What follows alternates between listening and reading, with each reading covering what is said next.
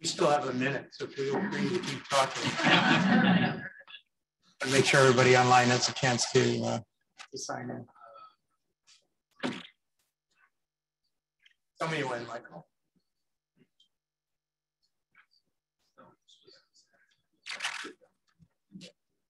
All right, good morning. We're going to go ahead and get started. I normally don't like to bring any notes up with me, but there are so many things to talk about today. I want to make sure that I don't forget something. So forgive me if I if I stare down at a note occasionally. First, thank you for coming together this morning. Uh, things are continuing to go really well at the university, and it, I'm pleased to be able to give you this update.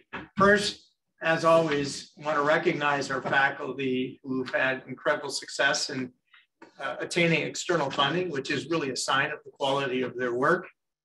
So we have four individuals today um, one of those is Dr. Messmore, and then Dr. Rhoda. Dr. Rhoda, in fact, has two new grants, and she continues to excel, has really been a leader in getting external funding uh, over the course of this year.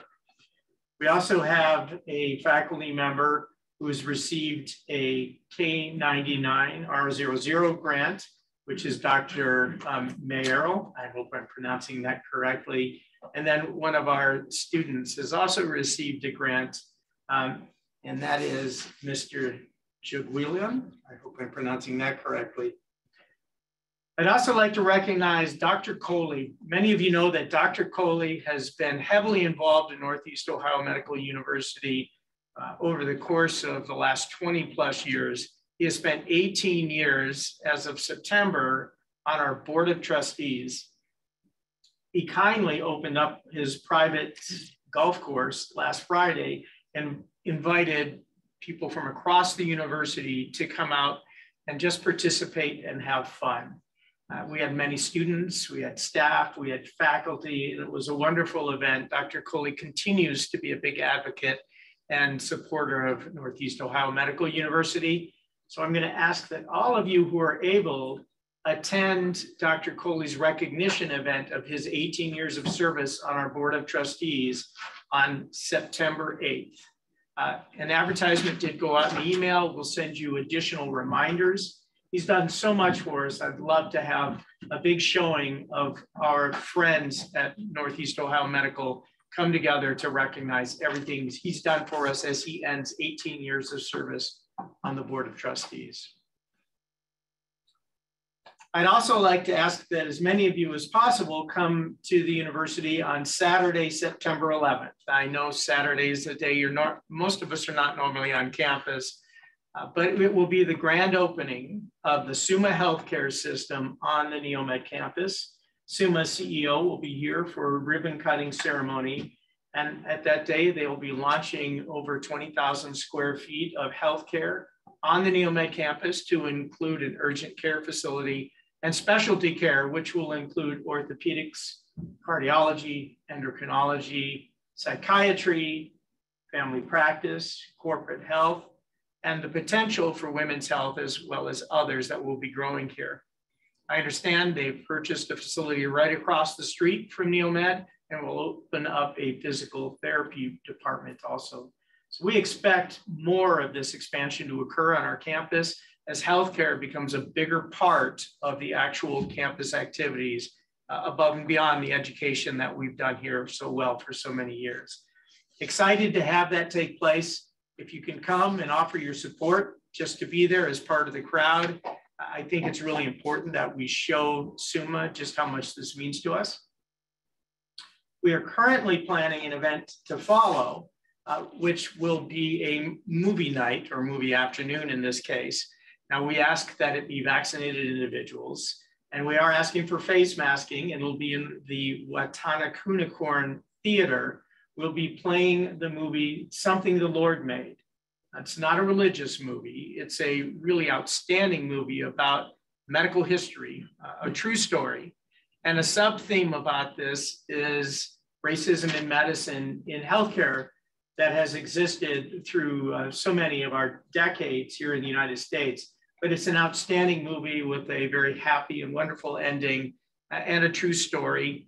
It's an opportunity for those of you who may have learned about or taught tetralogy of Fallot, a, a very complicated medical condition from a malformed heart. Um, but it is a really, truly wonderful piece of medical history in the United States and one that many surgeons look at and like to talk about degrees of separation from a key member of that movie, which is Dr. Alfred Blalock. So I encourage all of you to come. We will be having food and refreshments. There's always a chance that we would cancel this last minute if the Delta variant really explodes here.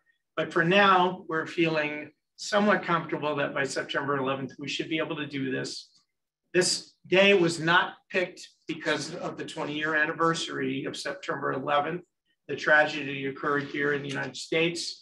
Um, so this is not meant to be disrespectful. We recognize the importance of this date. Uh, we just chose this in conjunction with the date that Summa chose for being on our campus. So we will also recognize the um, those who've lost their lives in the September 11th event at those activities. We're also looking to have casino night, which hasn't been held here since October 2019. And that's a fundraiser for our free clinic, our SOAR clinic. In the past, it's been done as an internal event. We really want to take this and grow it to a much bigger event to raise dollars to support those clinic activities in a bigger and better way. We also ask that if you're able to join us for that evening, which currently, as I understand it, is a James Bond themed evening because Dr. Alicia Bond is uh, the faculty member who runs that clinic uh, and doing it after the Casino Royale theme for James Bond, where if you know anybody with high-end cars, Ferraris, Bugattis, Maseratis, Lamborghinis, we're looking much like the real um, Monte Carlo casino to have them on display in the front as people come off uh, come into the building and have fun. An evening of really fun is what it's meant to be. Not your typical fundraiser where you come in and mingle for 20 minutes and then sit at a table with eight other people while somebody speaks, but just an evening to depress and have fun. We really believe that the Delta variant will be dramatically down and this will be an opportunity for us all to come together by November 5th and to support the free clinic. So if you're able, uh, please join us the other event that is being planned is for October 4th. As you know, we lost Dr. Jay Gershon about one year after he retired. And his uh, widow has been working with us to raise money for Jay Gershon Scholars for underrepresented minorities in both medicine and in pharmacy. During the pandemic, we did raise some dollars, uh, not as many as we'd have liked. I think we were at about 25,000. Uh, that event, we're going to recognize the three first Jay Gershon scholars. Uh, we are going to share the great diversity information that has grown out of this university through your hard work over the course of the last two years with the community. We'll have our diversity and equity council there and we will be working with Carol Cannon, Jay's uh, widow, to raise additional funds uh, through their friends and neighbors uh, to continue to support these scholarships. So if you're able to attend that, please do look for that um, to be in further announcements uh, coming to you very soon. September 2nd will be our new Vital series for this year, a very successful program in leadership in healthcare that we ran over the course of last year. The vitals, first vitals se section will take place on November 2nd at noon. And we're very honored to have a former US legislator and certainly a name that all of us in America recognize, uh, Patrick Kennedy, uh, come to speak to us about behavioral health issues in the United States. And we'll have a special guest um, help to mediate this section uh, this session from PEGS Foundation. So really excited to have um, now doctor, because he's a doctor honoris with us, Rick Keller here for that event also. Um, we are also having a soft launch of our new faculty development program take place on September 1st. We made a promise that one of the areas we're going to focus on is faculty development at this university to help our great faculty members become better, to improve their capabilities and to help achieve excellence in teaching and in research, in leadership, and through mentorship.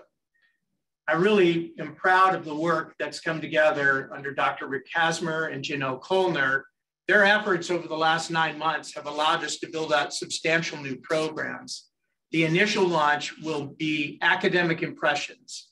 Academic Impressions is a national organization that has been touted by some of the most premier universities in the United States, including Johns Hopkins, Case Western Reserve, uh, some of the universities of California. It's an outstanding program with great training opportunities, and it'll be available to all of our faculty and also to our staff, as there are numerous staff training opportunities in it. For those of you who are looking for a tool to become better at what you do to build your careers, we're excited to get this launched. There will be training offered here so that you can learn how to use the tool adequately. In addition to that, we're going to reinvigorate the Master Teachers Guild. We're expecting a reunion of that organization in October. And we have many more, many more opportunities that will be coming uh, over the course of this year.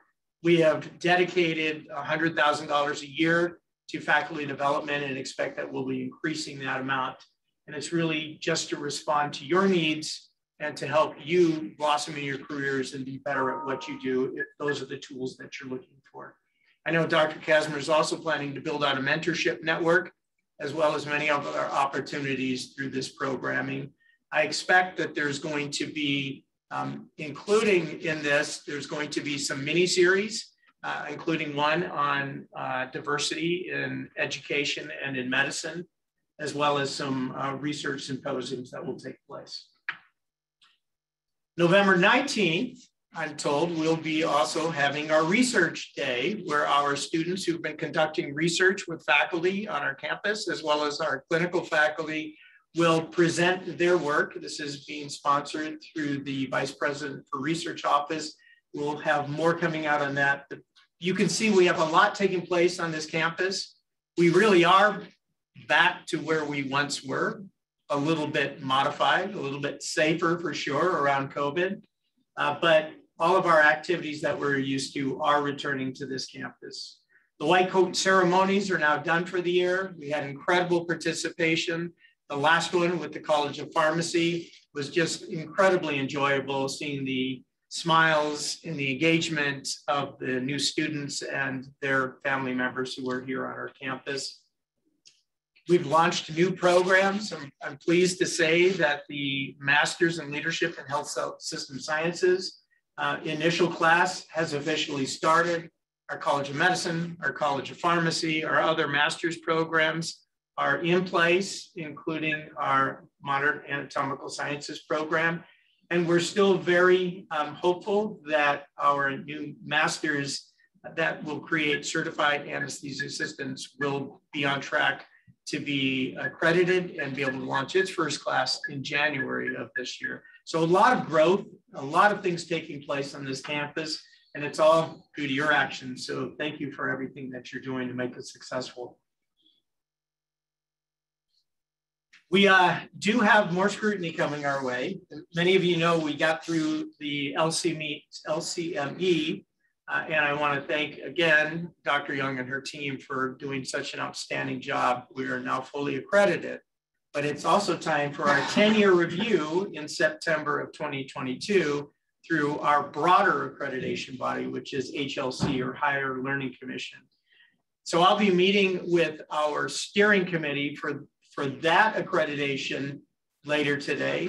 I do want to thank those who support that, especially Deb Loyette, Jordan Sindrich, and for the entire team of leaders across this campus who are being led by our chair, uh, Dr. Wenstrup, to help us get through this accreditation in a very successful manner.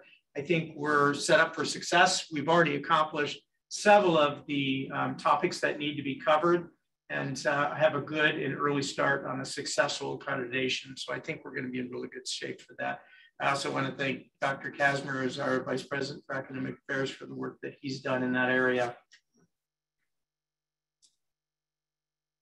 We are, are now allocating the remainder of the HEERF dollars or the money that we received around COVID for our students from the federal government.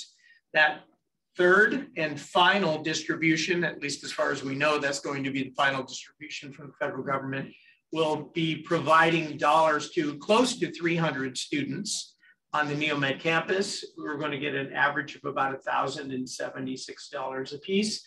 It's based on those who have need uh, and have specific financial debt. But I want to thank uh, Mary Taylor and her team for helping to get that out so we're able to help our students. This is the third distribution over the course of the pandemic. We've been able to provide dollars that ranged anywhere from 500 to well over $2,000 to our students in need.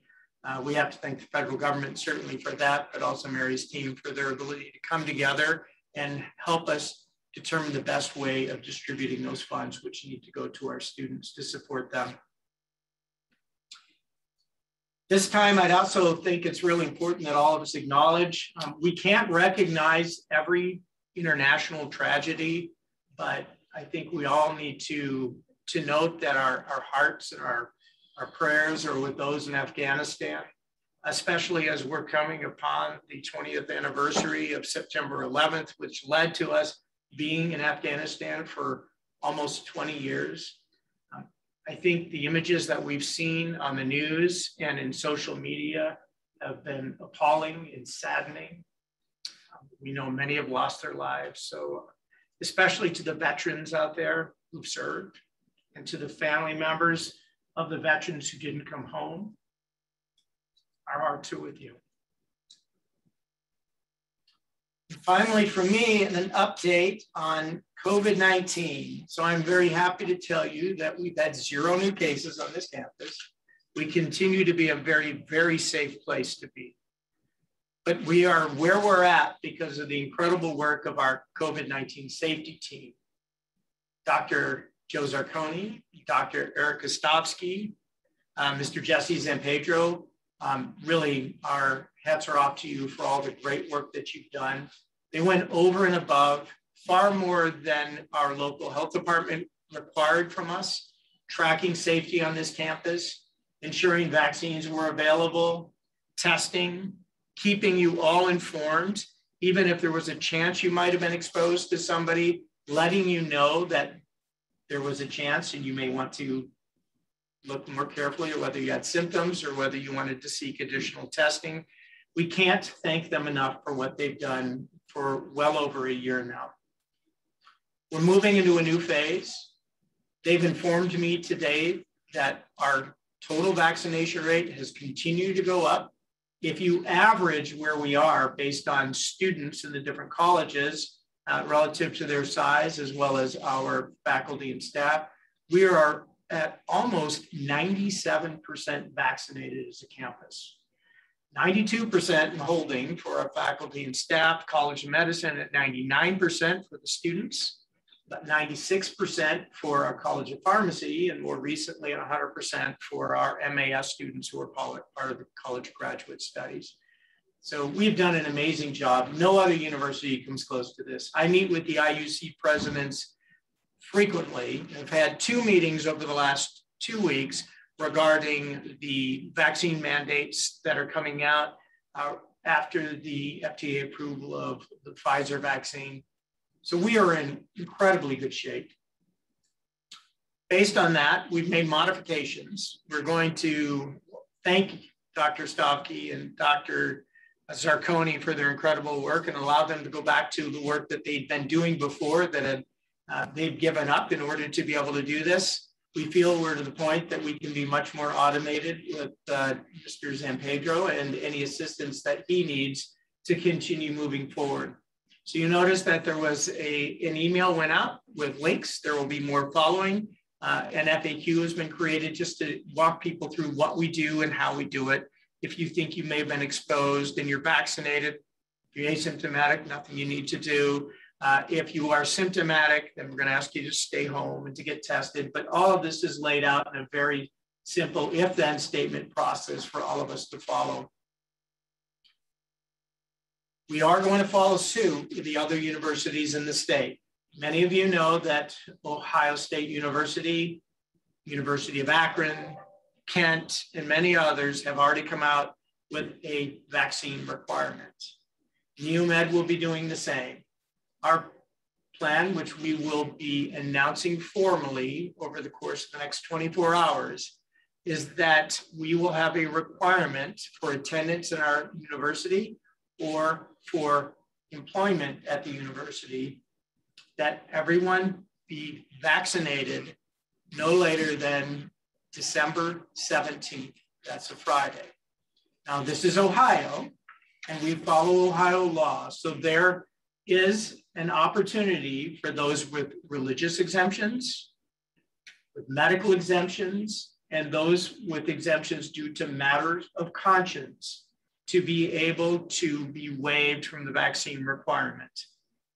We've done so well, that tells me that getting beyond the 96.8% that we're at as a whole on this campus is going to be very difficult because we're in such great shape. But we do recognize that there are individuals out there who cannot be vaccinated for reasons, again, medical, religious, or matters of conscience. So we will have those waivers available and we're going to work with them either through um, Sandra Embrick's office for our students or through HR for our faculty and our staff. Thank you for everything that you've done. We truly are um, leading all of the Ohio institutions and probably every institution in the state, given the vaccine rate we've achieved. It's substantially higher than our hospital systems have been able to achieve. And it just shows that this university stands behind the science that we teach our students in healthcare. Vaccines do work and they are safe. With that, I'm going to stop. And before we get to questions, I wanted to open up the floor to uh, Jordan Cindrich uh, to provide uh, some discussion points on a COVID-19 remembrance program.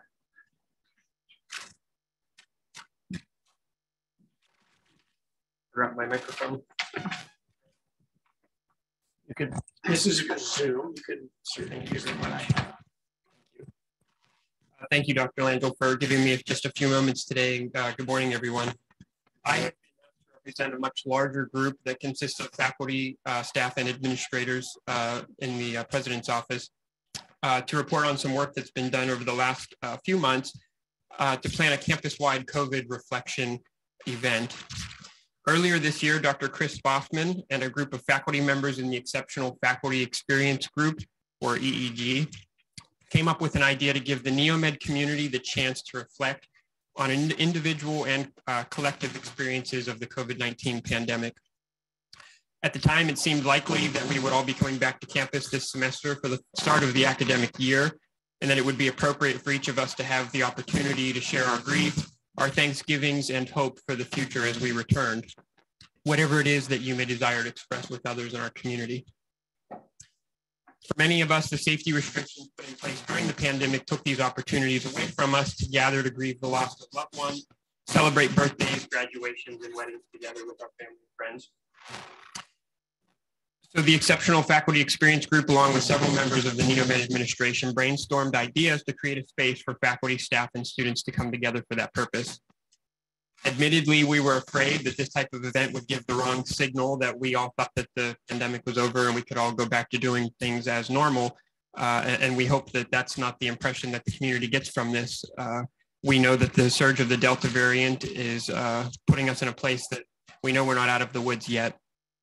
Nevertheless, with the start of the new academic year and all of us back on campus, it remains appropriate for us to pause for some reflection on how far we've come as a community and as individuals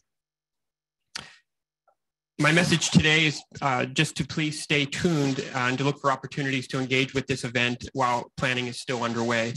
Current ideas include sharing artistic reflections of the pandemic uh, with the Artists in Medicine student group at the helm of that uh, with Dr. Bracken, uh, interactive boards for members of the community to publicly share their thoughts and feelings, and also working with Marcom for some multimedia opportunities to memorialize friends and family members that have been lost during the course of the pandemic. So thank you all for listening, and I hope you consider supporting this event once more messaging comes out for the group. Uh, if you have any questions or suggestions, feel free to contact me or for faculty members, feel free to work with your representative to the faculty council. Thank you.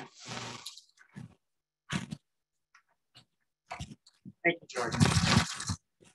I was told by um, Michael Wright that I speak too loudly. It was overwhelming the mic, so I'm going to not use it this time. Thank you. But let's open this up for questions uh, or dialogue. Anything from the uh, audience here? Yes. Will you be providing So that's, that will be provided if we know that the recommendations are uh, completely appropriate. There's still a lot of debate as to whether the data that was shared um, by the federal government, which came from the Israeli studies, is correct or not.